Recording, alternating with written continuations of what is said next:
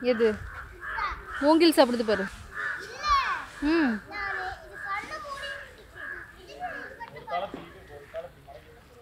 வா.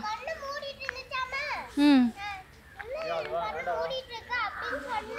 ஒரு மூச்சு விட்டுருச்சு.